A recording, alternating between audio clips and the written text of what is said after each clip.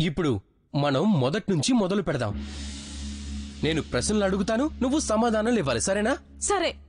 నిన్న దీపావళి పండుగే కదా? అవును. దీపావళిని నిన్న మనందరం కలిసి భోజనం చేయడానికి కూర్చున్నామా? కూర్చున్నాము. మనం పిలిచాం కదా అని మహర్షి దూర్వాసులు వచ్చారు కదా? వచ్చారు. నేనే స్వయంగా భోజనం ఆయనకి తినిపించానా? ఆ తిని. భోజనం నేనే చేశాను. అక్కడ అన్ని ధాన్యాలు దొంగలించి ఆ ధాన్యాలన్నీ ఎవరు దొంగిలించారు?